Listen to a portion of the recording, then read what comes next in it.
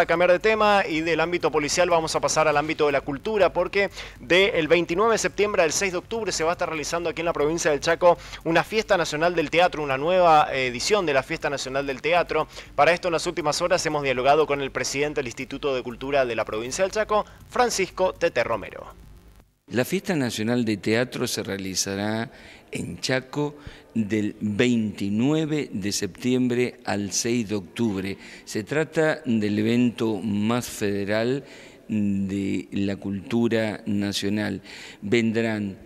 130 funciones, habrá 130 funciones, 530 este, actrices, actores, directores y tendremos un corredor cultural que además de resistencia vincule a 12 localidades del Chaco donde se exhibirán las obras premiadas de las 23 provincias argentinas, más la ciudad de Buenos Aires en sus respectivas fiestas provinciales o locales de teatro, 50 obras de un concurso para pensar teatralmente Malvinas, vendrán obras que tienen que ver con el repertorio nacional y tendremos obras que funcionen en un sitio cerrado, una sala cerrada como Casa de las Culturas, como el Guido Miranda que se reabrirá para la Fiesta Nacional de Teatro, la Máscara Teatro, eh, Galatea, eh, Sala 88,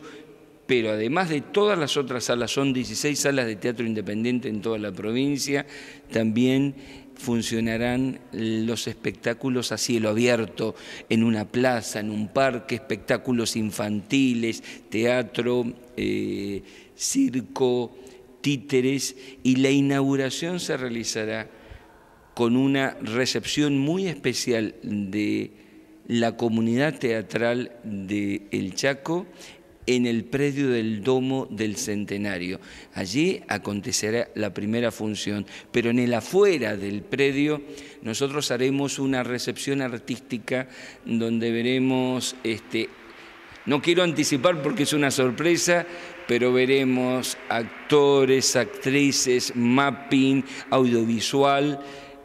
contando la historia del Chaco y del Teatro Nacional.